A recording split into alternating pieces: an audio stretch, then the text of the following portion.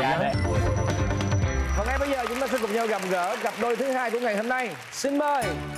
Wow, áo đôi, áo đôi Mời hai em Rồi, hai em giới thiệu cho mình đi Dạ em xin chào chị Cát Tường, anh Quang Bảo Em tên là Thanh Bình, hiện nay 26 tuổi Đang làm nhân viên kinh doanh tại Phú Yên ạ Em là Thùy Dung và là dược sĩ. Hiện tại thì em đang làm việc ở thành phố Hồ Chí Minh. Em thì quê ở Phú Yên nên là tụi em yêu xa gần một năm rồi. Rồi một năm rồi gặp nhau được mấy lần Tụi em thì ờ, gặp nhau ờ, rất là ít, chủ yếu là nhưng ờ, qua những cái chuyến từ thiện của hai đứa. Một đứa thì từ Sài Gòn về, còn một đứa thì tổ chức ở Phú Yên ạ. Thương quá ha, yêu xa Gặp nhau có mấy lần buồn quá Là à. hai bạn là mới yêu nhau có một năm thôi Một hả? năm, Dạ. À, lần đầu tiên hai bạn quen nhau là cái cơ duyên nào Khoảng một năm trước thì thì em vô tình lên Facebook và thấy à, bạn Bình nhà em á, đang à, tuyển à, tình nguyện viên cho câu lạc bộ từ thiện của bạn ấy. Cho nên là em em mới comment là chúc câu lạc bộ của bạn ấy à, phát triển.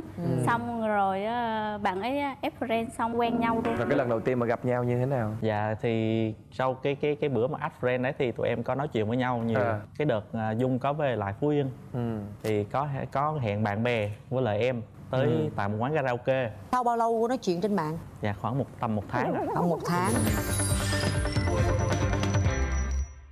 cái ấn tượng hai bạn khi lần đầu tiên gặp nhau ra sao? Dạ lần đầu tiên gặp Dung ở trên mạng thì ảo lắm anh Mà ra gặp thì Cũng thường thôi Dạ thường Mà thật ra thì thì em em trên Facebook thì mình phải đẹp đúng không chị? Đúng rồi Khi ra rồi gặp thì vừa luôn vừa ú Mà không có xinh như trên trên trên hình Nhưng mà cái lúc mà một tháng mà hai bạn quen nhau trên mạng đó À. Là hai bạn nói với nhau những chuyện gì? Lúc đó là có thả thính gì chưa? Hay là cũng chỉ mới là bạn bè bình thường? Tụi em ban đầu quen nhau là không ý định gì hết, chỉ nói chuyện bình thường, chuyện công việc. Em cũng thấy bình thường, em nhưng, chả thích. nhưng mà cái lần em về Phú Yên đó là em gặp lại được ờ, gặp được bạn này xong thì cảm xúc em như thế nào? Ban đầu thì thấy cũng ờ, phong độ về sau thì còn nhiều cái nó nó nó nó bất ngờ lắm chị. Rồi rồi. làm lúc sao mà hai bạn quen, quen nhau, nhau, đó. Qua ngày hôm đó thì tụi em cũng nhắn tin bình thì cứ thả thích em thế thôi. Em thì cứ dẫn dưng như là sao chê ta mà vẫn thả thính? Dạ sau cái lần gặp đó thì cũng thấy cũng thích thích. À. Xong về em cũng thả thính mà thính không có dính. Tầm bắt đầu một tháng sau là em bắt đầu em chờ trứng Chuyện qua chán Hoài mà không được đúng Dạ không? xong rồi cái em mới chốt hạ lại một câu thôi. Em đang Ừ. ờ, ngủ ngủ xong rồi em nhận được tin nhắn lúc nửa đêm. Bây giờ mày có yêu tao không đó là câu tỏ tình của Bin Ủa là xưng mày tao ngoài đời hả? lúc lúc đó tụi em xưng nhau mày tao em thấy tin nhắn thì em cũng bình thường em cứ nói trời ơi cứ giỡn như con nít này. Xong rồi em cứ nói là thôi mình cứ ừ ừ cho vui. Em nói ừ yêu thì yêu cái ở đâu. Thế là từ đó tụi em thành người yêu của nhau. Nhưng mà lúc đó thì thực sự là chưa chưa có tình cảm gì hết. Em chưa có gì còn bình thì chắc là hơi thích thích em thôi Cái lúc mà nhận cái lời yêu đó cho tới lúc mà các bạn gặp nhau lại và đi chơi là bao lâu? Tầm khoảng một tháng sau tiếp à Dung về lại Phú Yên. Nữa hả? Dạ sau nói chung là cái chuyến đó là là định đó. mệnh Tiền đặt vé á, 10 giờ đêm á, là về tới Phú Yên. Nhưng mà hôm đó là tàu trễ. Là về tới Phú Yên là tới 12 giờ Là em chờ từ 10 giờ tới 12 À, giờ. em có đi đón. Dạ ra đó. Rồi. Em vừa cầm cái đàn xong Dung là Dung hôn em. Dạ tại vì lúc đó em em em em em thấy thương quá em thấy chờ đợi mỏi mòn quá em thấy tội quá rồi bây giờ mình tiến tới cái trong cái quá trình ừm, hơn một năm nó có cái gì đẹp trước đi kỷ niệm tình yêu có cái gì hấp dẫn không? Có lẽ cái lần mà làm cho em cảm thấy thương và tội Bình nhất đó là lúc mà nội em bị bệnh nặng ở quê xong em về quê. Bình thì đi ờ, công tác ở Nha Trang Nha Trang thì cách nhà em khoảng 200 km xong rồi nửa đêm á Bình nghe tin xong rồi Bình chạy về quê. Trên đường ờ, đi ờ, từ từ thành phố về nhà em thì đường vắng nhà em trên núi chị. Bình đi một cái đoạn đường rất là dài là sương buổi đêm ở quê nó lạnh chị Bình về đến nhà Bình tím tái lau nhà vệ sinh. Sau hỏi ra mới biết thì mình sợ ma quá. Đi đường sợ ma quá cho nên mắc tè không có dám tè. Trời đất ơi đi một mình không dám tấp vô lề tè. Dạ không. Không có đèn sao dám vô chị? Mà đường là không có một nhà cửa gì hết đó chị. Trống hoang trống hốc. Mà lạnh, sương, mưa bay bay nữa. Đi cái xe cà Đi, tàng đi cái xe cứ cọt kẹt, cọt kẹt. Cảnh cảnh tượng lúc đấy em nói lỡ mà ai mà rờ rờ sau đây chắc em cũng không biết đâu mà Rồi sao lúc bạn gặp vậy bạn bạn cảm thấy như thế nào? em em cảm thấy tội và em thấy ờ, Xúc cái- động phải không? dạ cảm giác cũng giống như là Bình là người trong gia đình của mình rồi quan Ừ. tâm đến mọi thứ quan tâm đến cảm xúc của mình đó là điều em cảm thấy ờ, trân trọng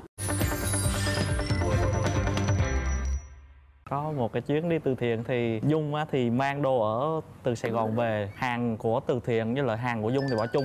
Mà em với Bình thì ờ, đi vào khám và cấp thuốc bệnh cho bệnh nhân. Ừ. còn ở ngoài này thì các anh chị cứ ờ, tặng quà thế thôi. Thế là hành lý của em á, bao nhiêu thứ các anh chị tặng cho bà con ở quê đó hết. Xong rồi sau chuyến đi thì em chỉ còn mỗi bộ đồ trên người thôi. Em đi tặng quà cho mọi người ba ngày em mặc bộ đó thôi. Còn hỏi em có có mua gì không? Vậy sao không mua đồ khác cho người ta? Tụi em đi từ thiện là những chuyến ở trên núi cao những đồng bào vùng sâu vùng xa chị. À. cho nên là không không tìm mua được. À. thế là em cứ bộ đồ đó em mặc hoài thôi. Ờ, ban đầu gặp bình thì em cứ thấy bình ờ, cũng đẹp trai cũng thơm tho sạch sẽ lắm. Ừ. Nhưng mà ở trong chăn thì mới thấy rận được. Bình nó vô cùng lười tắm. Lười tắm kinh khủng kinh khủng khiếp. Bao lâu tắm lần? Nhờ vậy mà em ba ngày không thay bộ đồ ta vẫn thấy bình thường. Dạ đúng rồi. Nhưng mà lúc nào ra đường cũng phải là bảnh bao coi thử là phải à, xịt nước hoa là thơm tho coi thử mình có đẹp đẽ chưa? Nhưng mà thật ra không biết là có sạch hay không. Có nghĩa là cái cái đó tới giờ này vẫn chưa có cải thiện được luôn hả? Dạ. khi nào em nhắc thì tắm còn không nhắc thì thôi không có em thì thường thì ví dụ như cái cái thời gian lâu nhất bạn không tắm là bao lâu? Ba ngày ba Cái gì? ngày, ba Cái gì? ngày. Quan bị sợ nước hay sao? Dạ ở quê anh lạnh lắm. Ba ngày không tắm hả? À. ba ngày không tắm mà còn lâu. Lâu. Dạ.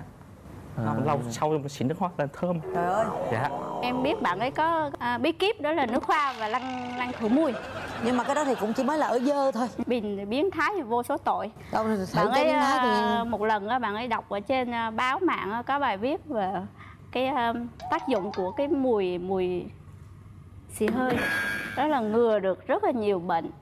Xong ấy bạn ấy cứ à, mỗi lần mà xì hơi xong canh em mà không không không cảnh giác là bạn ấy châm lại lấy cái gì châm mùi đó lại xong lại ập lên người em để cho em ngửi đó chị. Nhưng mà giống như em cũng thành thói quen rồi mỗi lần mà em thấy pin mà nhìn ghiền rồi hả? Không, không. chưa ghiền nhưng mà kiểu như mỗi lần mà thấy bình mà nhìn em nhìn nhìn nhìn nhìn vậy là em em suy nghĩ chắc sắp mình sắp được ngửi nữa rồi. Em ban đầu thì em thấy nó hơi quá dị xíu nhưng mà lâu dần em nghĩ ừ à, à, thấy cảm giác như làm một cái thứ gì đó là của mình rồi. Cảm thấy à, thân rồi, thuộc ghiền rồi cảm thấy thân thuộc rồi. Bởi vì á thì có khi gắn bó với nhau thì những cái à, gì xấu nhất thì mình thấy với nhau mà mình mình chịu đựng được có nghĩa là mình mình hòa hợp được với nhau rồi đó. Dần dần ở giờ em em mà ở trong Sài Gòn mà em thấy buồn buồn ở lâu lâu em cũng à, nhớ cái mùi đó phải không? Dạ đúng rồi chị. May em vô đây em em em định em định gói một cái gói gói để mang vô cho dung mà thôi nghĩ lại thì thôi bỏ đi. Thôi biến thái quá trời ơi. luôn còn gì nữa không? Còn gì nữa không? Chuyện biến thái của Bình thì thì chắc có nhiêu đó thôi còn em thì em thấy em cũng ngoan hiền dịu dàng. Không, không anh thấy- nghĩ là em cũng phải biến thái là mới Không, chấp nhận mấy cái chuyện dạ đó để em em kể em kể chuyện. Đó. kể đi. Em kể đi. vạch mặt nhau đi Dạ. chứ.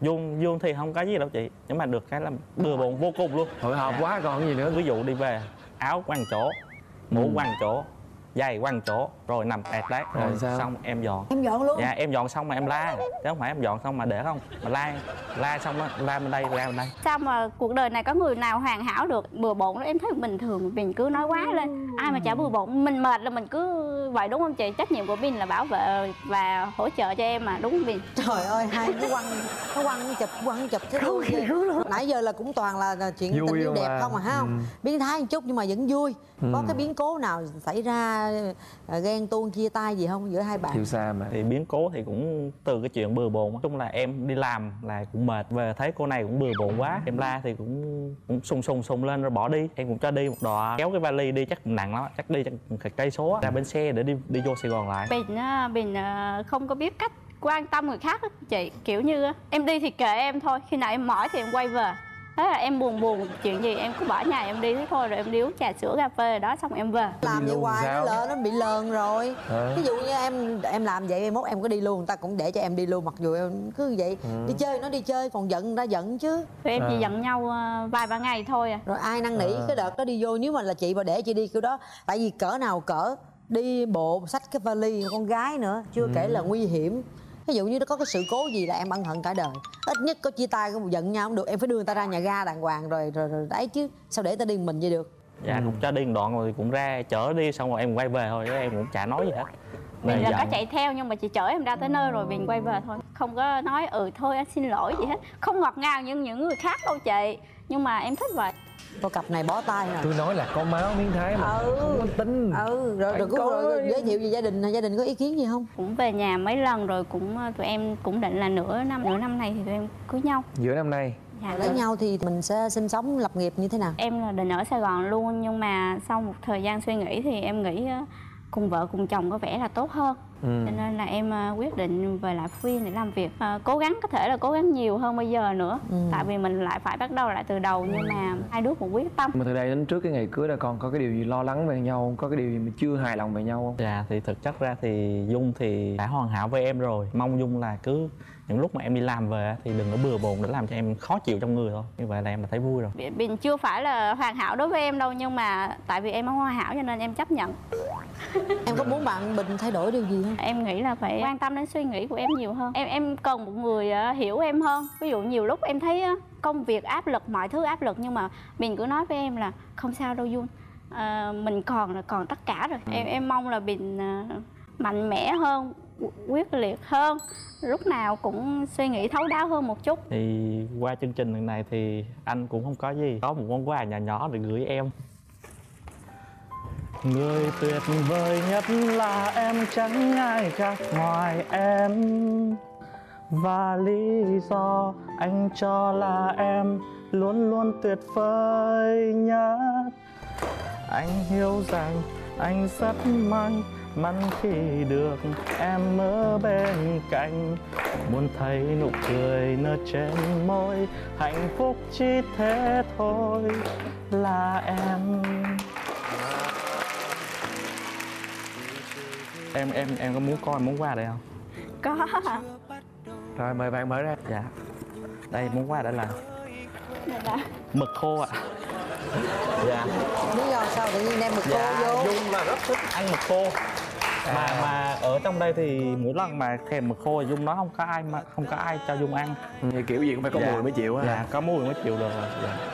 em cảm nhận như thế nào về ờ, hành động bất ngờ và món quà ngày hôm nay?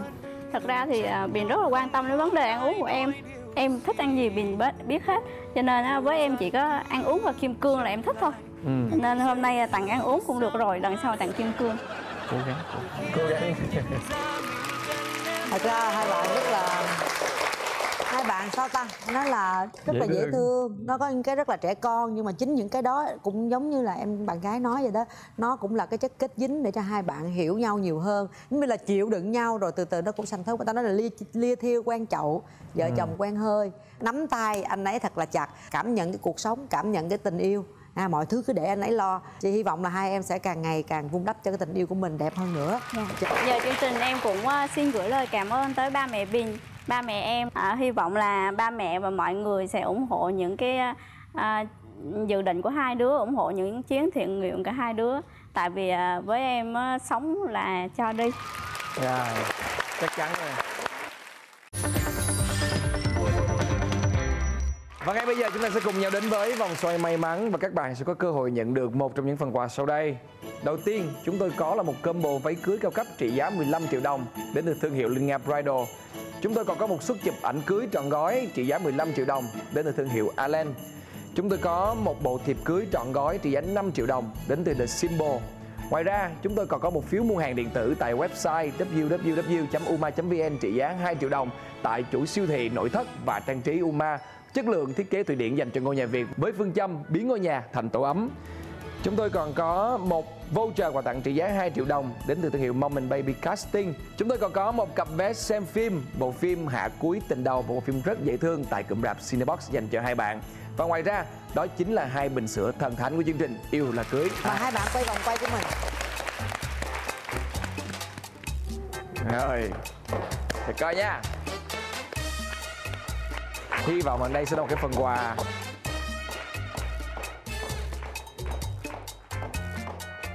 một cặp vé Đó là một cặp vé xem phim Hạ Cứu Tình Đầu dành cho hai bạn Chúc mừng hai bạn ạ Kính thưa quý vị và bây giờ thì thời lượng phát sóng của chương trình đã hết. Các Tường và Quang Bảo xin hẹn gặp lại quý vị trong chương trình tuần sau. Xin kính chào và hẹn gặp lại. Quý vị cũng đừng quên khung giờ quen thuộc của chúng tôi vào lúc 15 giờ thứ bảy hàng tuần trên kênh HTV7 quý vị nhé. Và ngoài ra, quý vị cũng có thể xem lại thông qua cổng YouTube đó chính là MCV Media, cũng như là cổng thông tin Love TV. Cảm ơn quý vị rất nhiều. Xin chào và hẹn gặp lại.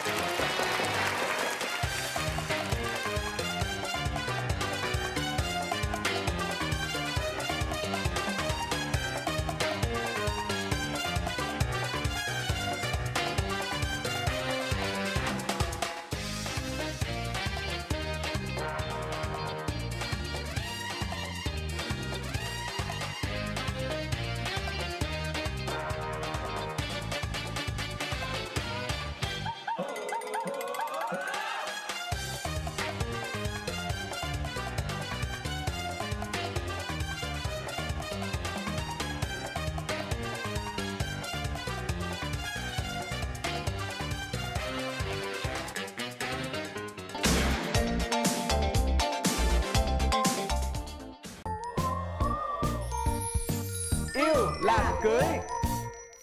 Ảnh ngồi kế bên cái ảnh nắm cái tay em lại nắm cái tay đó lúc là mình là chị mà mình cũng phải sĩ diện của chị rút tay lại. Chứ không về để suy nghĩ rồi cân lên đặt xuống hoặc là người này người, người cái tác động là cái đó là nó cũng không không có thật lắm. Em Đúng. muốn là thật ngay lúc đó thôi. Hợp lý. Hãy đến với Yêu là cưới vào lúc 15 giờ thứ bảy hàng tuần trên HTV7